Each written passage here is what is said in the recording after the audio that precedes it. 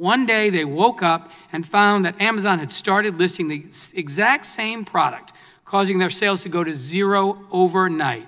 Amazon had undercut their price, setting it below what the manufacturer would generally allow it to be sold, so that even if they wanted to, they couldn't match the price. Here's how the apparel company described working with Amazon, and I quote If you head over to the e commerce giant everybody loves to hate and search up, well, search up anything really shirts, sunscreen, sofas, cereal, whatever, anything at all. It's virtually guaranteed that the first results shown are ads that a third party paid gobs of money for Amazon to display. And directly underneath the paid product listings, you'll usually see one or two products either owned by or branded by Amazon. 99 out of 100 times, you have to scroll past the paid, sponsored, and Amazon owned products before seeing anything from any of the other sellers on Amazon. How did this come to happen? Is Amazon manipulating search results to give preferential treatment to their own products? Yes, but also no. The truth is more complicated than you might think. According to the financial reports to investors, Amazon makes more than $638 million a day. A large part of that 638 million comes from the sales of 1.9 million small and medium-sized businesses which use Amazon as a platform to sell its goods. 1.9 million small businesses selling their products on Amazon gives the e-commerce giant a whole treasure trove of data. Data on what customers buy, on how often they're bought, customer satisfaction with different items, and, in some cases, Amazon even knows how the items are made. In short, Amazon has all the required information to replicate any profitable business model on its site. Combine that with the company's ability to dictate which specific product listings appear when a customer is trying to buy something, and you've got yourself the perfect business model that essentially lets you print money for free, risk free. The legitimate small businesses spend their money researching and developing products. They take all the risks of introducing a new idea to a cold market, and they have to pay for all of their marketing. and they have to pay for all of their marketing to get their new idea in front of as many eyeballs as possible. Then, when a product starts making money, Amazon will create their own copycat variant of the item lists of Amazon variant onto their website, and then manipulate their search engine to show the Amazon products ahead of the small business which came up with the original product. The end result is the small business losing its sales, while Amazon's copycat variant skyrockets to the moon. Small business owners have long suspected that this was happening. I started a jewelry store in 2017 and remember constantly reading the stories of entrepreneurs who had similar experiences.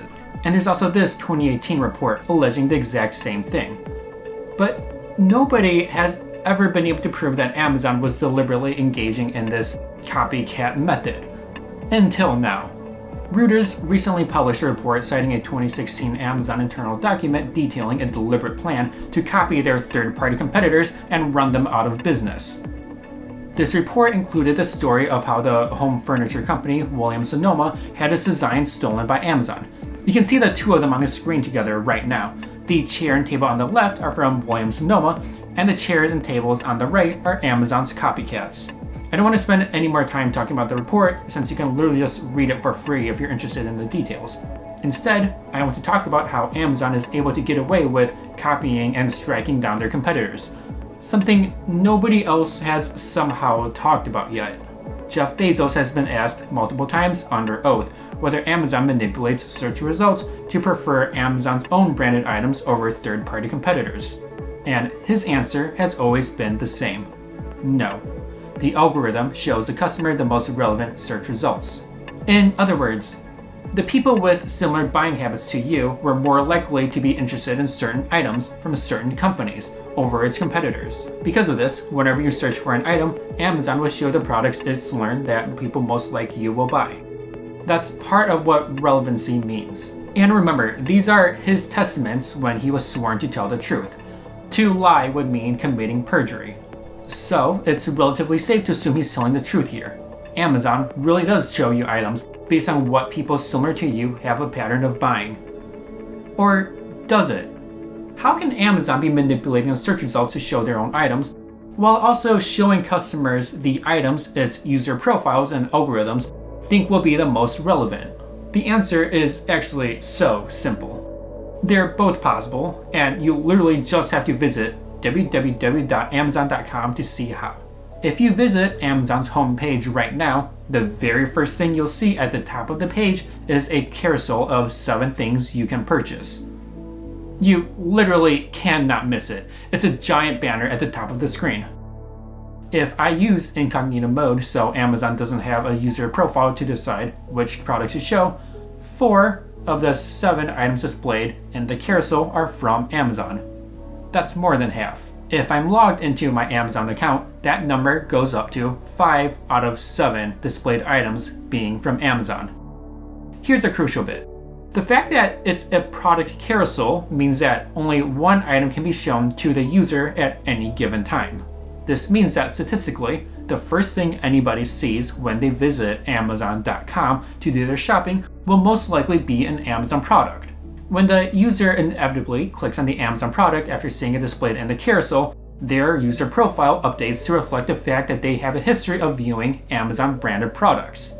Once that happens, Amazon can legitimately display their products ahead of their third party competitors because that user did genuinely click on an Amazon made product, thereby showing an interest in Amazon made products. And the more people who click on an Amazon product, the more Amazon can justify boosting their own products ahead of the competition. Yes, Amazon is giving preferential treatment to its own products on their own platform, which would normally be a massive conflict of interest. But that conflict of interest magically goes away the instant you or anyone with a similar profile to you views or, hells forbid, buys an Amazon branded product. Let's talk about that real quick the purchasing of Amazon products. Amazon has a lot of money. That just tends to happen to a company when they make more than $638 million a day every single day on average. In fact, in the year 2020, that revenue of $638 million led to Amazon making a net income of more than $21.3 billion. That's more than $21 billion profit after all of the expenses are taken off. This bottomless ocean of money means that Amazon doesn't actually need to be constantly churning a profit. What's more, their cloud hosting service is actually their true moneymaker, but that's a topic for another day. So, Amazon, with its $21 billion net income, can actually afford to lose money on the stuff that they sell without it impacting its bottom line, meaning Amazon can just sell their copycat items for a much cheaper price than their third party competitors and snatch the sale. After all, why wouldn't you buy a six pack of sponges for $5 from Amazon if it's the cheapest bundle available? Or a 12 inch cast iron skillet for $27? Or 50 clothes hangers for $24? A hanger is just a hanger, there isn't much of a difference in quality between an expensive hanger as opposed to a cheap hanger. And once you've made the decision to save a couple of bucks by buying an Amazon branded product, they're able to use that purchase as an excuse to show you more and more Amazon branded products. And remember, you don't even ever have to have actually looked at or bought an Amazon product. Amazon can do this to you as long as any other user with a similar purchasing history to yours views or buys an Amazon product. The more often this occurs, the more Amazon owned products will be shown on your homepage and search results. More Amazon owned products getting shoved into your face means less third party products will appear alongside it. In short, Amazon has created a system for them to legally monopolize the shopping on their platform. We called it Amazon heroin because you just kept going and you had to get your next fix, your next check.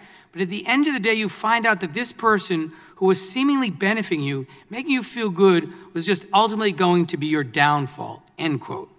So, Mr. Bezos, this is one of your partners. Why on earth would they compare your company to a drug dealer?